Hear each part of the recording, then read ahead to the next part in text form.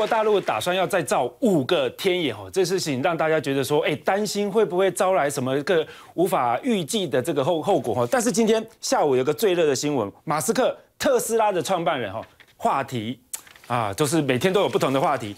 他在的推特里面突然写了 “humankind” 哈，人类，然后写了我们的煮豆燃豆萁，豆在釜中泣，本是同根生，相煎何太急啊！大家开始揣测了。这么写，呃，这个不是翻译哦，它就是贴中文哦，它就是贴中文哦，到底是什么意义呢？斌哥，其实哦，这个东西出来之后，很多人都在猜测到底发生什么事情，因为它上面先写一个 humankind，然后后面又是这个七步诗，那你你这个到底是给中国人看的，还是给全世界看的？大家都在猜这个东西。那有人说是因为中国大陆问题，有人是因为最近联合国说你们这些富人呐。那个应该要来拯救世界，你要捐钱，哎，一开口就是六十亿美金，哎，吓死人！台湾首富现在也超过六十亿美金而已，他一次就要捐一个首富出来。那听说马马斯克是直接呛回去说，可以啊，你要我捐可以啊，你联合国只要能够保证你的所有的这些捐献计划都是公开透明的，我就觉得，联合国就他暗示说那个账是黑的喽。我我觉得有这样的意思，表示他至少他表示我不信任你们嘛。然后最近美国又要科富人税。也是一直在找马斯克的麻烦，所以有人在想说，是不是针对联合国，是不是针对美国？可我个人认为，我解读了，我认为他是针对中国大陆，因为中国大陆跟特斯拉一直都有在合作，他在那边也设了很多厂。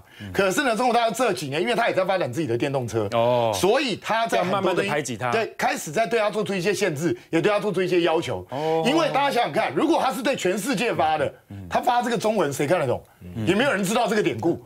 那他前前面先写一个 humankind 人类，嗯，表示我们大家都是地球，我们都是人类。然后后面特意你用一个中国的典故啊，我个人认为显然是告诉大家相煎何太急，大家都是人嘛。我发展电动车也会带动你中国大陆的产业啊，你也不要为了你扶持你自己的产业就把我干掉啊。我们大家可以慢慢谈，好好相处。我认为是这个意思啊。我现在听到这么多版本，斌哥讲的这个版本，我是觉得我最可以接受吼。那另外一件事情，中国大陆呢，他现在发出好语哦，未来要再打造五座的天眼哦。去年这个天眼启用的时候，哇，为之轰动哦，因为它样子看起来非常惊人哦。那大家会紧张会轰动吼，不是哦，说中国科技多进步什么，是因为美国的这个霍金呢，告诉大家，哎，你这个天眼这种东西哦，打开之后，你不断的向外这个外太空发递讯号。啊，有些会侵略性的外星人，他本来不知道，哦，莫名接接到你的讯息，啊，就跑过来，哦，原来地球上面有生物，他就来破坏我们，他觉得这个是一个浩劫，可能会带来的哈。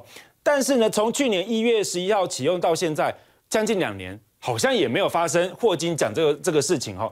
所以中国大陆现在告诉大家，我们接下来要再做五座的天眼哈。那这个在去年的九月的时候，中国大陆启动了寻找外星人，好，等于说是挑战霍金了。你不要让我找，我更不怕，我就是要找。斌哥你怎么看这事情？其实我自己年轻的时候也很喜欢找这种外星文明，所以我还有参加 SETI 计划，就是把你的自己的电脑、家里电脑跟全世界所有电脑连线，然后去帮这些无线电望远镜运算。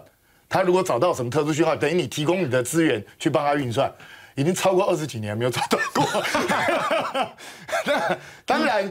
中国大陆现在它这个天眼，确实它它的能量非常强，它可以探到很多过去观察不到的地方。可是霍金的顾虑有一部分，我认为是对的。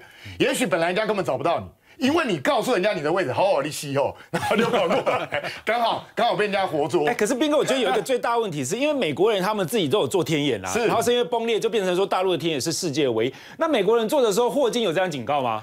霍金没有，对呀，那不是大小眼吗？所以，我我必须说，其实西方人还是有点骄傲，他认为我可以，我们是可以控制的，你们就可能会出现危险。比如说强子对撞机，欧洲欧洲有剩啊，然后那个美国也有啊。可是当中国大陆要发展强子对撞机的时候，他们就有很多意见啊，觉得你可能处理不好啊，你可能会造成危险啊。我觉得这是西方有一点优越感啊。但是我也必须相对的讲一下，对，虽然说。你确实可能会让外星人发现你的踪迹，是有可能。但第一个，宇宙这么大，微乎其微。哎，人家就算发现，他来不来得了是一个问题。那假设一个文明真的能够漂洋过海，隔到无数光年来来到地球，它一定是非常非常高度的一个文明。我们通常对高度文明是有一个期待，也就是说。它应该根本不会想要去掠夺地球的资源或干什么，因为它已经发展到根本不需要这种资源的层次。当然，这是我们的理想啊，我们也不知道到底文明发展到理性的推论了。对，推论啊，就是以我们人类自身文明的发展，越人类的文明越高段的时候，你会开始会去照顾到其他生物的感受，战争，对，会尽量减少这些冲突嘛。所以我觉得也不要这么悲观。